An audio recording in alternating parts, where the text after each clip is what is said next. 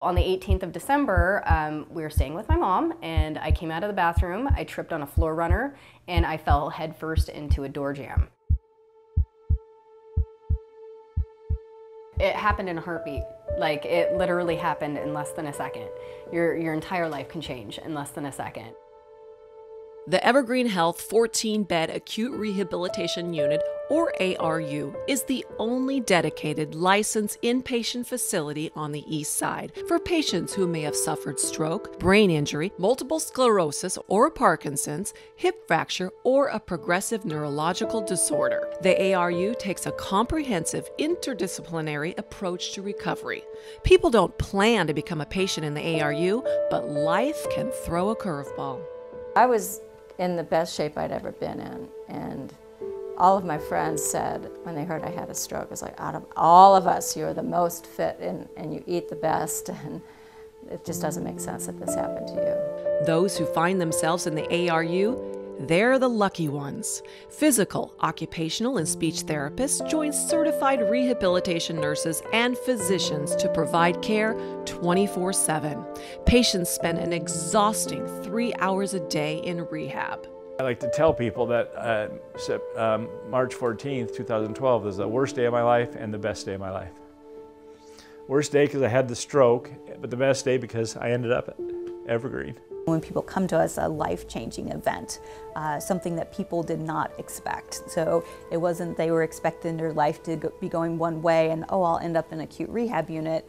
You know, this is something that was unexpected for them and their families.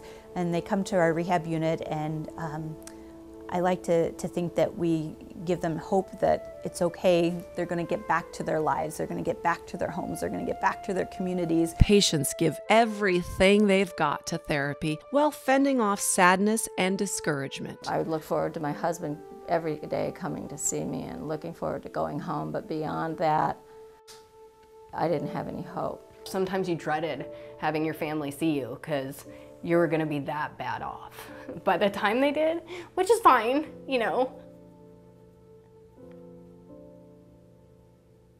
So it was better sometimes not to see them. The acute rehabilitation unit here at Evergreen is a wonderful staff, but our facilities are really lacking. Your generosity tonight will enable big changes in the ARU. Open spaces for meals and socializing will allow greater mobility, helping families develop coping skills and reclaim intimacy. Even more exciting, a specialized home transition apartment will give patients and families a chance to try out new skills in the privacy of the apartment with nursing staff just down the hall. The apartment will be a great asset for the patients to be able to practice using a, a regular bed, using a bathroom that's not modified for wheelchair use, um, to learn how to, to, to, transfer the skills they've learned here into more um, home-like environment.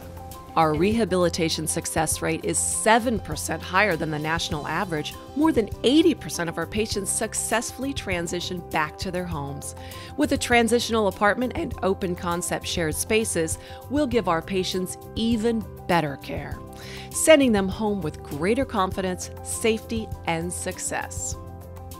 Picture how this would be if this happened to you or somebody that you were close to, and to watch them go from ER when the neighbor said, you know, you didn't look so good when they hauled you out. Your, your, your, your whole side was hanging down. It's like, you didn't look so good. To the, you know, he doesn't, he doesn't need me. He can drive again. He can work again. He can walk the dogs again.